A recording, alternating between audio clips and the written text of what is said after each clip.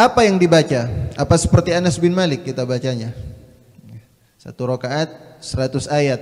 Dilakukan juga oleh Abu Musa al-Ash'ari. Katanya riwayat yang lainnya disebutkan Abu Musa sedang melakukan perjalanan mabaina Makkah wal Madinah.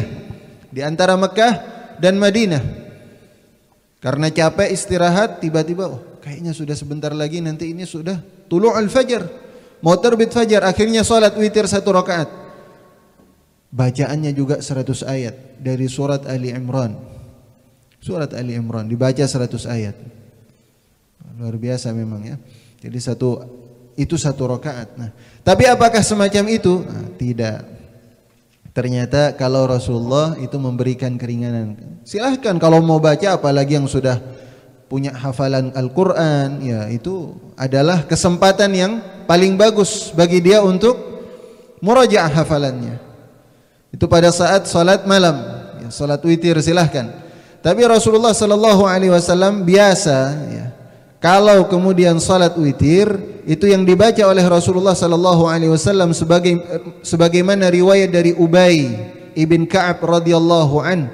Qala dalam kitab Bulughul Maram disebutkan ini kana Rasulullah sallallahu alaihi wasallam yutiru bi sabbihisma rabbikal a'la Rasulullah kalau salat witir itu membaca sabbihisma rabbikal a'la surat al-a'la. Dan wa qul ya ayyuhal kafirun wa qul huwallahu ahad. Dibaca itu rakaat pertamanya al-a'la rakaat keduanya qul ya ayyuhal kafirun. Rakaat ketiganya al-ikhlas qul huwallahu ahad. Riwayat yang lainnya menyebutkan dengan al-falaq digabung dengan Al-Falaq dan An-Nas. Riwayat yang lainnya semacam itu. Wala yusallim illa fi akhirihinna kata Ubay bin Ka'ab dan Rasulullah tidak salam kecuali di akhir dari salat witir itu. Jadi yang sunnah dari Rasulullah sallallahu alaihi wasallam biasa Rasulullah itu ngajarin kepada kita agar tidak terbebani kita ini semuanya, tidak kemudian mempersulit umatnya, mengajarkan kepada kita yang pendek. Makanya kalau kemudian ada yang membaca surat Al-A'la masih ngeluh, masih ngeluh, waduh surat Al-A'la panjang lagi ini. Rasulullah ngajarin yang pendek itu sudah. Al-A'la. Itu pendek. Kisarus suar. Surat Al-A'la, Al-Kafirun dan Al-Ikhlas itu. Itu sudah pendek. Nah, Rasulullah ingin mempermudah kepada umatnya. Makanya yang biasa dibaca apa? Al-A'la, Al-kafirun al-ikhlas. Tapi kalau kemudian kita ingin yang lebih panjang lagi, oh silahkan. Falyaqra ma kata Imam An-Nawawi. Kalau kita ingin bacaan yang panjang, falyaqra ma Boleh kita. Kalau Imam Abu Hanifah, ya salat malam itu khatam Al-Qur'an. Salat malam salat malamnya itu khatam khatam Al-Qur'an. Ya, nikmat betul kalau kemudian bisa semacam itu ikhwatal iman ya. Setiap malam kemudian kita berkhalwat dengan Al-Qur'anul Karim. Jadi al-qiraah itu yang biasa dibaca oleh Rasulullah sallallahu alaihi wasallam. Dalam riwayat yang lainnya Aisyah ya, radhiyallahu taala anha disebut menyebutkan kullu suratin fi raq'ah dahulu Rasulullah sallallahu alaihi wasallam membaca apa dalam setiap rakaat itu satu surat. Enggak disebutkan surat apa? Satu surat. Bisa aja Al-Baqarah.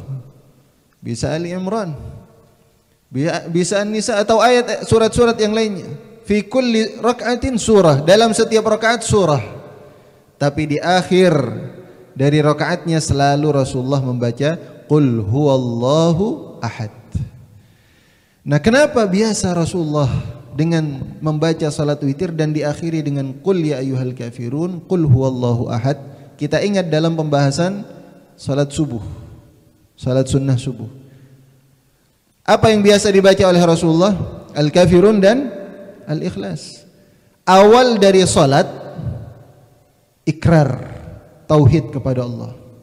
Kita menafikan Tuhan selain Allah. Qul ya, ya ayyuhal kafirun. Enggak ada nanti. La a'budu ma ta'budun wa la antum 'abiduna ma a'bud. Ini kita menafikan, enggak ada Tuhan selain Allah. Kalian mau nyembah selain Allah silahkan, tapi kami tetap menyembah kepada Allah Subhanahu wa taala. Ikrar dari kita, tauhid.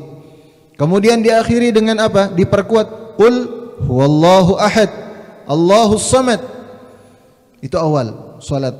Dan diakhiri dengan salat witir di mana penutupnya juga sama. Qul ya ayyuhal kafirun dan Qul huwallahu ahad.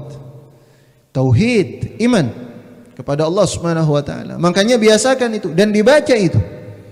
Tapi bacaannya juga yang benar. Kayak dibaca dengan diresapi maknanya, dihayati dan bacaannya juga bagus, tepat bacaannya. Itu akan semakin membantu kekhusyuan salat kita. Nah, ini yang kita inginkan. Yang begini ini salat yang seperti ini, salat witirnya mantap begini ini, ini insyaallah yang akan mendapatkan fadilah khairun min humurin na'am. Lebih baik daripada unta merah. Ya, lebih baik daripada unta merah. Unta merah bagus, tapi lebih baik daripada itu. Seberapa besar? Wallahu a'lam. Allah yang Maha tahu. Dan Allah Subhanahu wa taala memberikan kepada kita tanpa batas. Jangan kita kira ada batasannya, enggak ada batasan. Hitung-hitungannya sama Allah, bukan sama kita, bukan logika manusia. Yang mudah-mudahan kita semuanya dapat taufik, dapat kemudahan dari Allah Subhanahu wa taala untuk bisa membiasakan salat witir setiap malam. Baik itu kita pilihnya di awal waktu ataupun di akhir di akhir waktu. Silahkan. Ya, silahkan yang terpenting istiqamah.